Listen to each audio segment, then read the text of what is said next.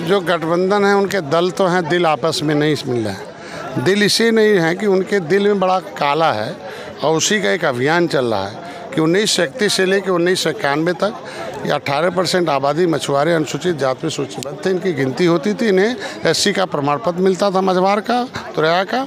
और इनको लोकसभा, विधानसभा, विधान परिषद, ज़मीन, जायदाद, नौकरी पैसा सब सुरक्षित था, मान सम्मान स्वाभिमान। ये इनका आरक्षण छीनने वाले लोग उनका पर्दाफाश यात्रा निकल रहा इसीलिए वो कुछ भी गठबंधन बना लें।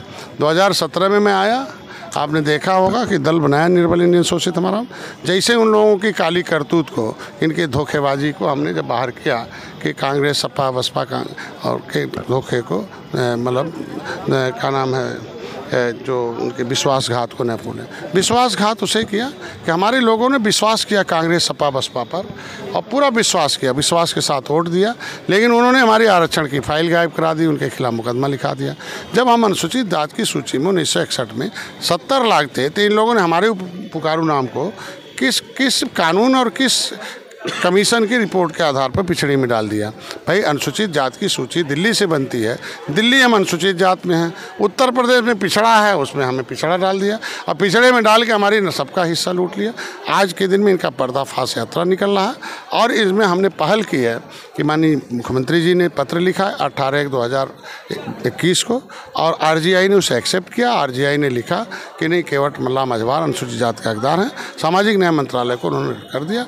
अब जिस तरीके तरीके से अपर कास्ट ने, महिलाओं ने एहसास कराया है, सपा, बसपा, कांग्रेस, आरएलडी, आरजेडी को हरा कर तो अब देखो अपर कास्ट और महिलाओं ने जैसे हराया और मोदी जी को जीत का एहसास दिलाया तो अपर कास्ट को भी आरक्षण लिख दिया गया और महिलाओं को भी देखो, संविधान में आरक्षण का संशोधन करके महिला जो आरक्षण दे दी उसी तरीके से मछुआरों ने भी कमर कसा है कि इनका पर्दाफाश करना है।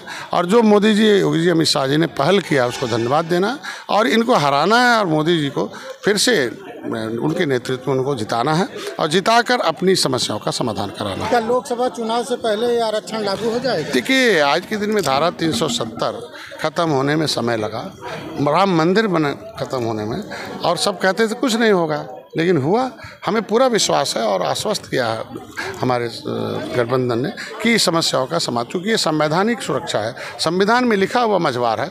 उन्होंने एक शासनादेश जारी किया है उत्तराखंड में कि शिल्पकार जाति नहीं जातियों का समूह है उसने प्रजापति कुम्हार, टमटा, ये अनुसूचित जाति की, शिल्पकार की पर्यावासी जातियाँ इन्हें शिल्पकार का प्रमाण पत्र दे दिया जाए। उसी तरीके से हमें एक शासनादेश एक परिभाषित करने का मामला है कि केवट मल्ला मझवार हैं, अनुसूचित जाति मझवार मझवार कोई जाति नहीं है। जातियों का समूह है, उसके अंदर केवट मल्ला, राजगौड़, गोड़, मझवार माझी हैं। इनको मझवार का सर्टिफिकेट दे दिया और कश्यप कहार को तुरहरा दे दिया ये ये आसान है। ये बेमान लोग हमें ऑलरेडी शामिल थे और हमें शामिल करने के नाम पर फ़ाइल गायब करा के गुमराह किया गया। भाई, जब हम उन्नीस सौ इकतीस में, उन्नीस सौ इकतालीस में, इक्यावन में इकसठ में, इकहत्तर, इक्यासी, इक्यानवे तक हम गिनते रहे, पिछड़े में डाली इसलिए हो गया कि हम अंग्रेज़ों ने हमें कानून बना के उजाड़ा और कानून बनाकर क्रिमिनल टाइप्स एक्ट इंक्वायरी की कमेटी की रिपोर्ट के अनुसार हमें चौहत्तर प्रकार की व्यवस्था चाहिए। तो ऐसी स्थितियों में जब प्रमाणिक दस्तावेज़ हमारे पास है तो प्रमाण पत्र भी मिलेगा, आज नहीं, कल मिलेगा। हम लोग पूरे आश्वस्त है, मोदी मोदी जी के साथ हैं, क्योंकि सम्मान इन्होंने दिया है। निषाद राज किले पर पर्यटक स्थल घोषित किया, बीस करोड़ अड़तीस लाख रुपए का दिया। अब देखो, भगवान राम निषाद राज की मूर्ति भी गले लग रही है। और निश्चित रूप से इनके मछुआरों के लिए जो जो योजनाएँ बनी, प्रधानमंत्री मत्स्य संपदा योजना, मुख्यमंत्री संपदा योजना, निषाद राज बोट योजना है, मुख्यमंत्री मछुआ कल्याण कोष इनकी पढ़ाई लिखाई के लिए, इनके शिक्षा के, स्वास्थ्य, रोज़गार के लिए एकल मकान के लिए सबके लिए व्यवस्था दी जा रही है। इनका सामूहिक दुर्घटना बीमा है, किसान क्रेडिट कार्ड के रूप में। तो ये सब देकर इनको चिंता तो की सत्तर साल में। बाकी तो वोट लेकर हमें धोखा देते रहे। कम से कम आज मंत्रालय बना, केंद्र में, राज्य में, और मंत्रालय बनाकर हमें भागीदारी की गई। आज के दिन में निषाद पार्टी, अगली सी विधान परिषद, विधानसभा में, उसी तरीके से अब लोकसभा में जाएगी और अपना वकालत करके पूरा करेंगे। क्या लोकसभा